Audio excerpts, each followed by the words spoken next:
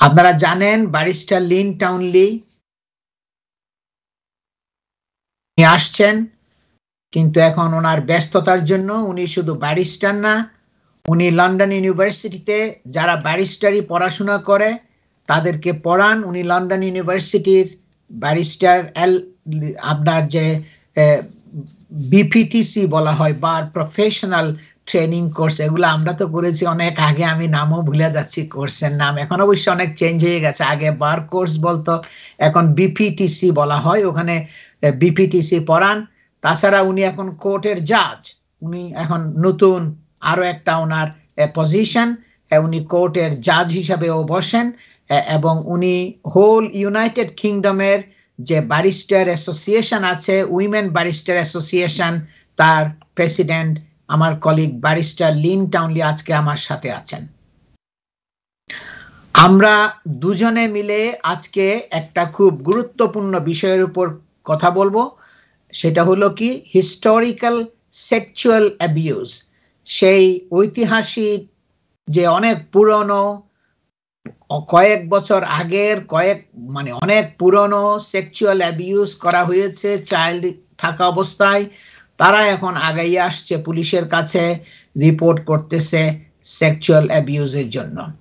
ওইটার উপরে আমি এবং আমার কলিগ ব্যারিস্টার লিন টাউনলি আমরা রসডেল চাইল্ড অ্যাবিউজ যেটা এদেশের বিভিন্ন পত্র পত্রিকায় নিউজে বিবিসিতে অনেক আসছে, খুব বড় কেস এটা।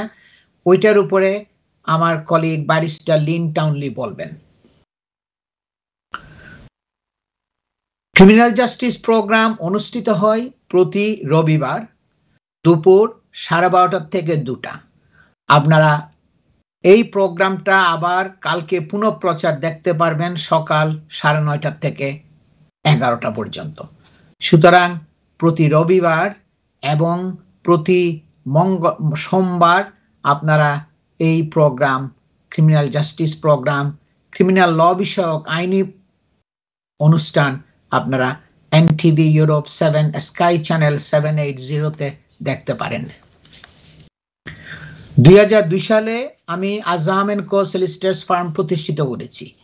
দীর্ঘ অনেক বছর ধরে আমি ক্রিমিনাল লয়ের উপর প্র্যাকটিস করে আসছি এবং আমার স্পেশালিজম অভিজ্ঞতা, দক্ষতা হলো এই ক্রিমিনাল লয়ের উপরেই। কারণ দীর্ঘ সেই পঁচিশ বছর ধরে আমি ক্রিমিনাল লয়ের উপর প্র্যাকটিস করে আসছি। তাই এই প্রোগ্রামে আমরা শুধু ক্রিমিনাল ল বিষয়ক বিভিন্ন ইনফরমেশন বিভিন্ন তথ্য, উপাত্ত নিয়ে আমরা কথাবার্তা বলি।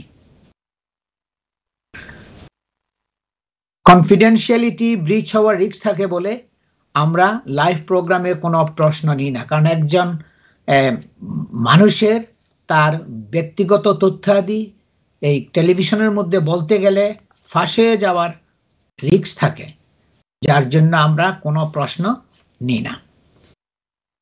একজন স্পেশালিস্ট ক্রিমিনাল ডিফেন্স সলিস্টার হিসাবে আমি অনেক বছর ধরে ম্যাজিস্ট্রেটস কোর্ট এবং ক্রাউন কোর্টে ছোট বড় অনেক ধরনের কেস করে আসছি।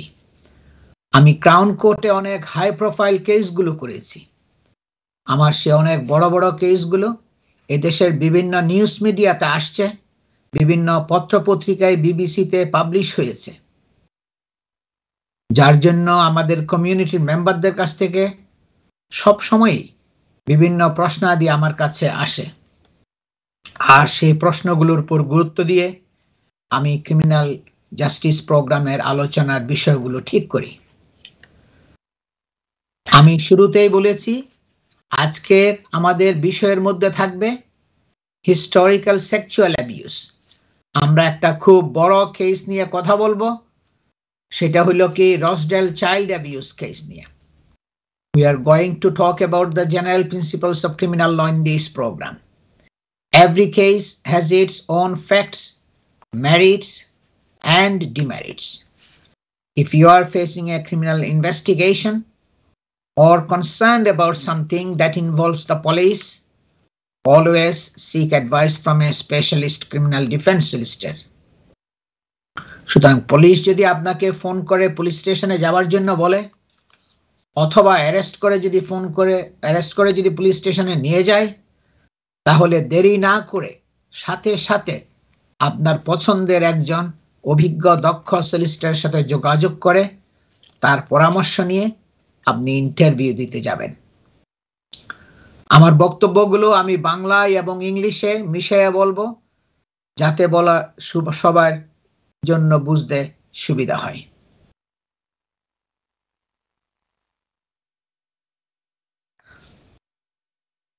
শুরুতেই আমি বলব, এই যে সেক্সুয়াল অ্যাবিউজের জন্য যখন কেউ চার্জ হয়, তখন কি সমস্যা হয়? A conviction for a sexual offense can have life changing consequences for our clients, and that even minor allegation can result in stigma or a client being forced from home, especially if they have children.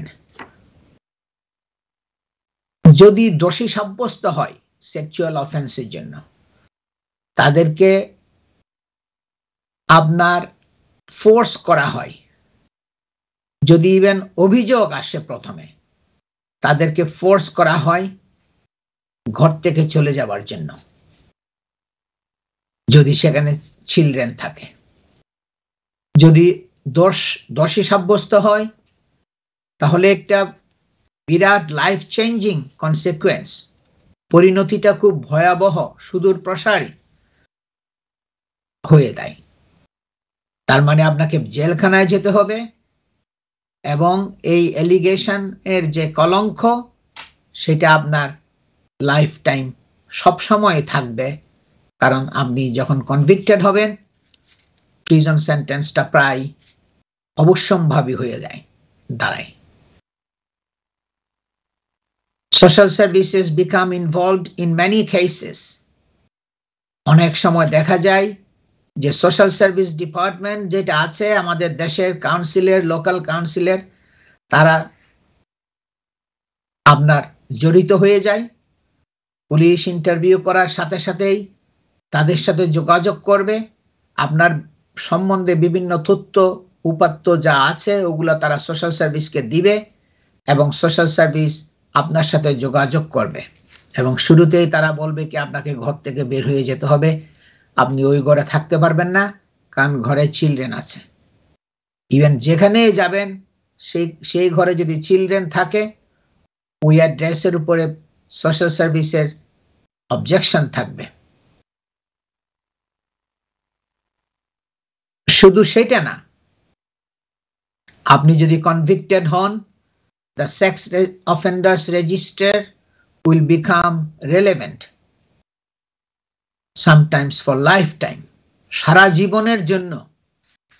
আপনাকে যদি দোষী সাব্যস্ত করা হয়, আপনি যদি guilty হন, সারা জীবনের জন্য আপনার নাম হয়তো থাকতে পারে ওই সেক্স অফেন্ডার্স রেজিস্টারের মধ্যে। খুবই ভয়াবহ পরিণতি যেটা আমি শুরুতেই বলেছি। Court will consider imposing a sexual harm prevention order which may have a dramatic impact on a client's ability to associate with certain members of their family. আপনার উপরে court sexual harm prevention order দিতে পারে।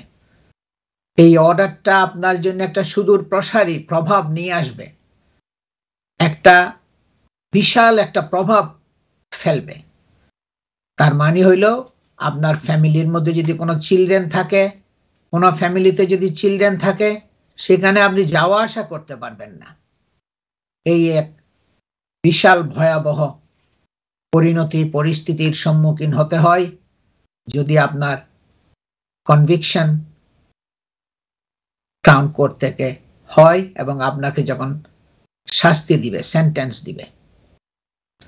সুতরাং কি করতে হবে? Therefore, at all stages of the proceedings, you need a specialist criminal defense solicitor to safeguard your interests and to defend your case robustly.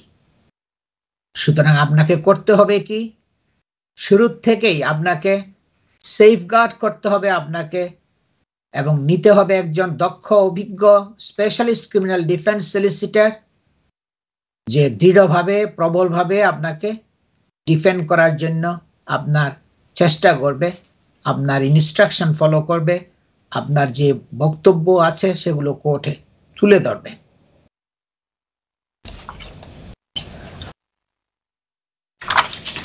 Lane, I will go to you is a case of Rochdale child abuse case. First, can you just explain what is historical sexual abuse? Yes, well, when we're looking at the criminal law, um, in some countries, you can only charge a criminal offence within a certain space of time. And some of the minor offences um, in um, England as well, you can only charge those within six months. So, for, for example, for a minor assault, you must um, you must bring the charge within six months, or else it's considered to be out of time. But when we talk about um, serious offences um, in England, and um, if this affects um, individuals, um, a, a, solicitor will be able to explain what the serious offences are. But it's it's usually offences that are punishable um, with uh, with over uh, six months imprisonment. There are offences that can be tried um, in the Crown Court uh, as well as the Magistrates Court or only in the Crown Court. Now, for those offences, there isn't any time um, scale with within which they need to be actually charged. And uh, the majority of all the sexual offences um, in England and Wales um, are all matters that can be dealt with or have to be dealt with in the higher court, in the Crown Court. So there's absolutely no time limit um, as to when they can be charged. Um, if the police and the prosecuting authority think there's enough evidence, some of these charges can be brought um, years after the event. Even not one year, even many, many years after. Many years, yes. That's when they become known as historical. If it's many years after the event, um, what the authorities will be looking at. They'll be looking at memory, they'll be looking at the strength of the evidence. They can bring a, a, case many years after, but it depends about witnesses being available and about the evidence being available, and also whether they think that uh, the memory of the witnesses is sufficient. So it will be subject to quite um, stringent um, factual tests for the evidence. So the evidence will be reviewed, but there is a possibility of of bringing um, a case many many years down the line. So maybe 10, 20 years down the line, there there is a possibility. There's no bar legally to doing that, but it will depend uh, on on how reliable um, the police and the prosecuting authority think the actual evidence is. Yeah, দর্শক আপনারা শুনছেন আমার colleague barrister Lin টাউন্ডির কাছে যে উনি বলছেন historical sexual abuse যেটা অনেক দিন পরে অনেক বছর পরে কোর্টে আসতে পারে কোনো টাইমের কোনো ব্যারিয়ার নাই কোনো সীমাবদ্ধতা নাই। চাইল্ডহুড অবস্থায় তাকে অ্যাবিউজ করা হয়েছে। সে এখন বয়সপ্রাপ্ত বয়প্রাপ্ত হয়ে গেছে।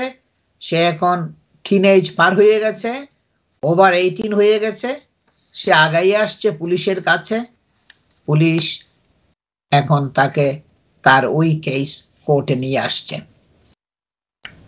In recent months, historical sexual abuse cases have hit the headlines. এই হিস্টোরিক্যাল সেক্সুয়াল অ্যাবিউজ কেসগুলো এই ঐতিহাসিক চাইল্ড অ্যাবিউজ কেসগুলো আপনার বিভিন্ন নিউজের শিরোনাম হয়ে আসছে। একদম সবার দেশের প্রায় সকলের জানা হয়ে গেছে এই কেসগুলো বিভিন্ন কেসগুলো শিরোনাম হিসাবে আসছে।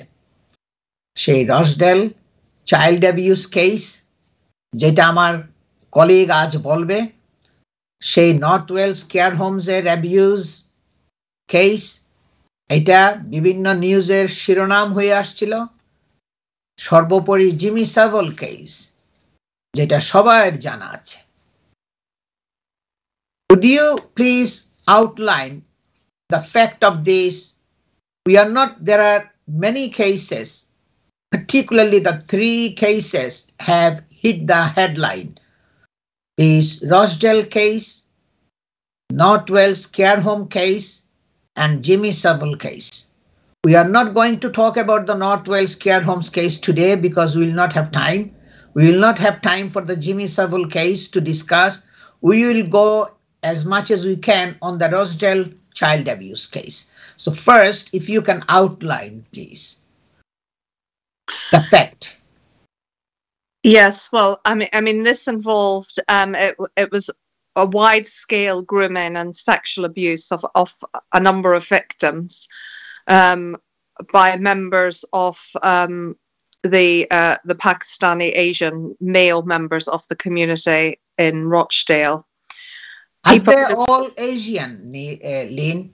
Within All of these people? yes, within the Rochdale uh, case, um, they were.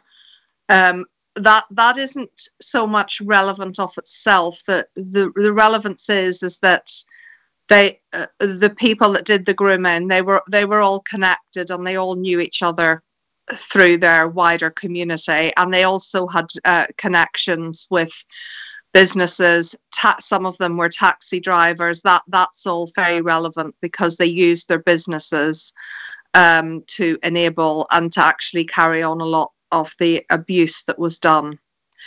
But what is uh, i mean the key facts of of that were that the the victims as such a lot of them were all known to social services and they came from really difficult backgrounds social services had been involved with a, a lot of the the young victims. They were all very young. A lot were were, were when it started were, were still um, at school or were at least were supposed to be in school.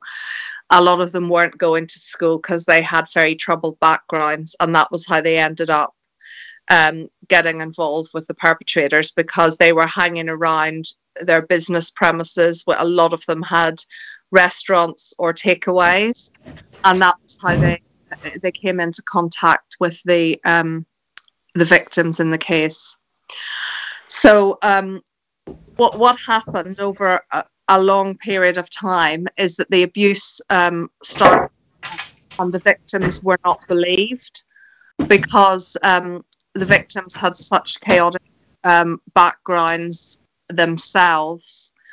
And uh, part of what happens within these cases is that they assess how reliable they think that the witnesses are.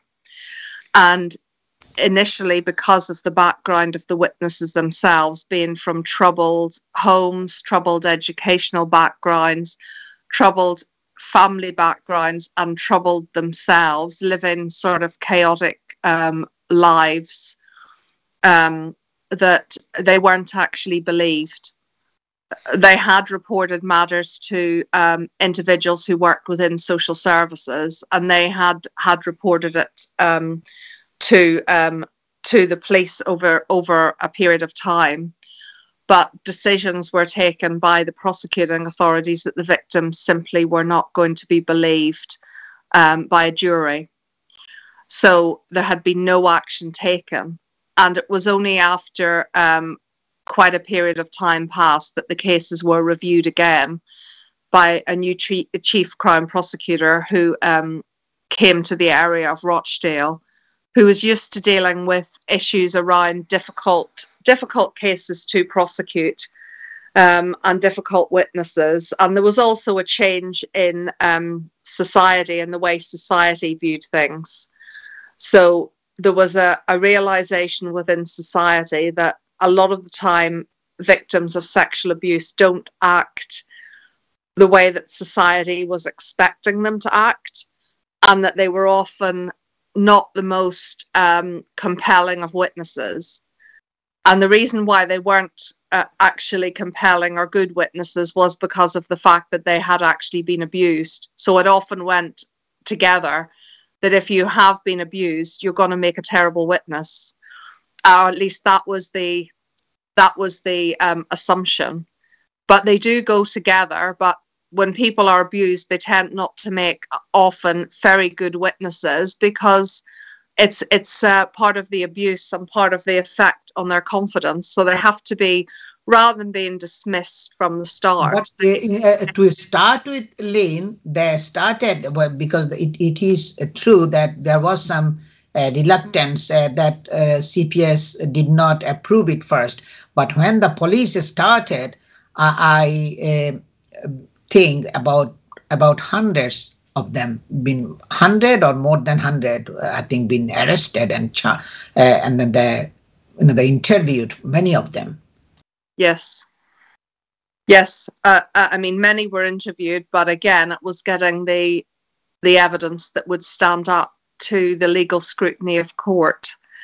Um, it was much more widespread than than the actual case, and uh, in the end, the nine people convicted and sentenced. It was much more widespread than that.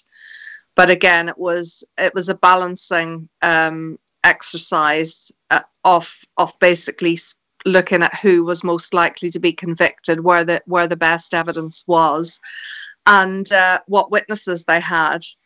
Um, and again, it's very difficult if someone's been um, abused over a number of years and then initially they've not been believed.